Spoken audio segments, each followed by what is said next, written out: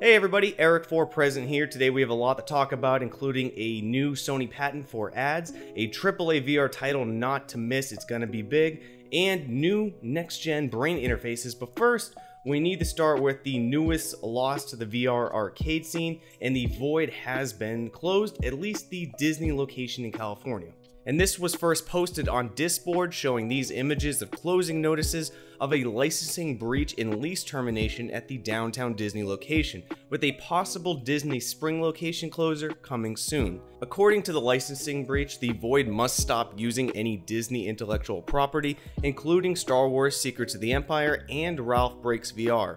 It must also cease all use of Disney promotional material, trademarks, and confidential information. The Void, for those unfamiliar, is an immersive virtual reality destination which provides experiences on a large, full room walking scale, and it provides a VR experience that's just not duplicable at home, one of the last remaining ways VR arcades are surviving. I bring this topic up because unfortunately, VR arcades may be a thing of the past, which to me is just extremely sad. VR arcades have always been on rocky foundations, always having to combat general VR interest, as well as the constant lowering of VR entry costs, which will take potential customers away from retail VR locations.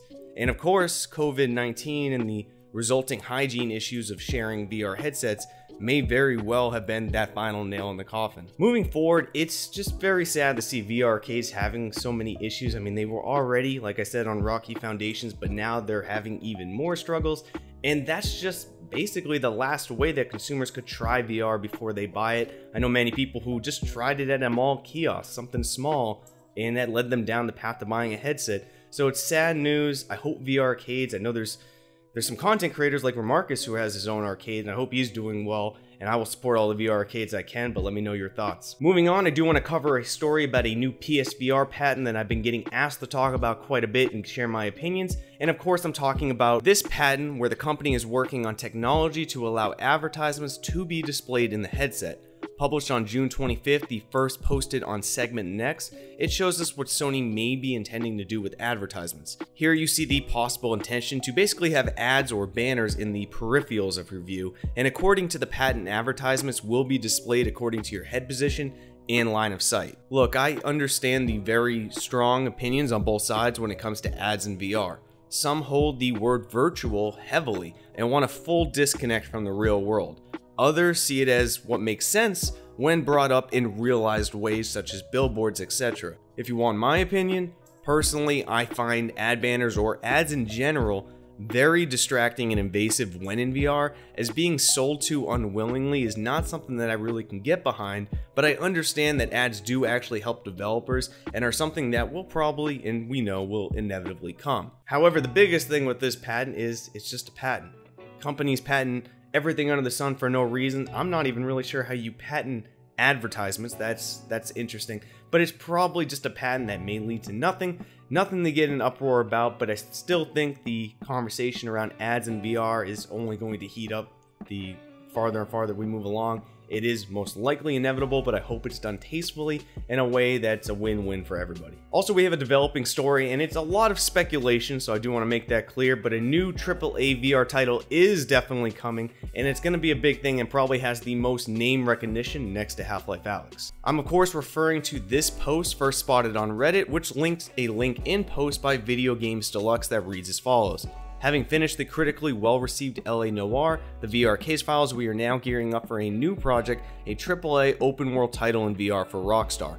2020 marks our seventh year of working exclusively for Rockstar in Sydney, and we're excited to taking on this groundbreaking project. Now, Video Games Deluxe was the team that handled the well received LA Noire game and has a history of great VR game development. I mean, it was one of the first VR titles doing vehicle movement well, it had hand to hand combat, full body IK, and had a ton of VR specific commands. It wasn't just a lazy or poor VR port, it was deliberate in its conception. Now, they did allure to this being a new project, but not a new game, and it's just my opinion that a brand new, open world IP designed specifically for VR seems like a large and expensive goal.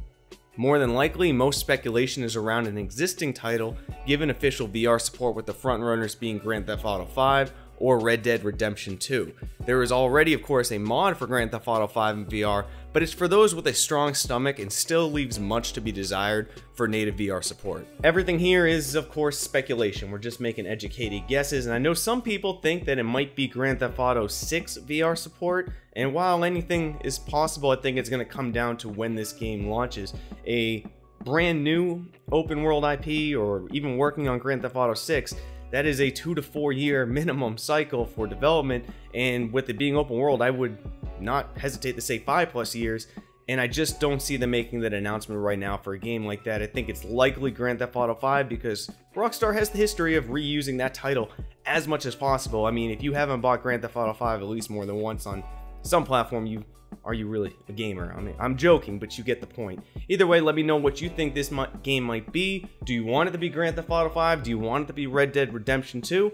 Or would you like a brand new IP for VR? Let me know your thoughts. And in my favorite story, let's all collectively set reminders on our calendars for the first online neurotech gaming conference, where there are rumors that there will be announcements or talks for next gen brain interfaces, and Valve will also be there. Now, you can find a ton of info on this at Eventbrite for the free conference hosted on Saturday, July 18th at 1 p.m. Eastern Standard Time and Sunday, July 19th at 3:30 p.m. Eastern Standard Time.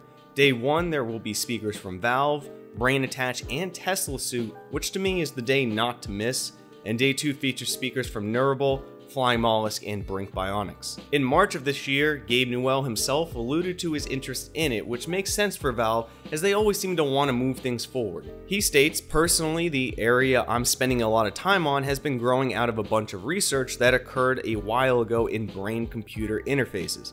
He continues later on, in the brain computer stuff, we're way closer to the Matrix than people realize. It's going to have a huge impact on the kinds of experiences that we can create for people.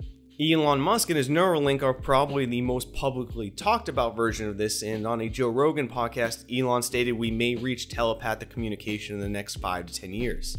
Is this likely? Honestly, I don't know, and that's perfectly okay. In fact, brain computer interfaces and how they will impact gaming and be used is something I know little about but want to know more, and that's exactly what this online conference may help with and exactly what it is trying to promise what would happen if you could connect your brain and body to a video game. I, of course, will follow up probably again in a video segment after watching this conference, but it is nonetheless something amazing. And although I may not be the earliest adopter of this for anything that is physically invasive, I'm just not willing to take that risk myself. I am insanely interested in learning more about these. Through these brain interfaces, there are a lot of possibilities. I mean, you could have games understand your thoughts and emotions and adapt accordingly. You could have NPCs that are more lifelike and human-like than ever, uh, the opposite of a Skyrim NPC. And tactile feedback like feeling bullets or feeling surfaces, things like that, could be possible without haptic suits. There are just a lot of possibilities. I'm curious to hear your thoughts on this. Will you be tuning into that conference? Either way, I'm glad you have the information and the link will be down in the video description. But that is going to be it for today's video. Please leave a like if you did enjoy it. Make sure to subscribe and hit that bell icon. That way you never miss an upload in case the notifications do not go out. And as always, see you on the next one, Space Cowboys.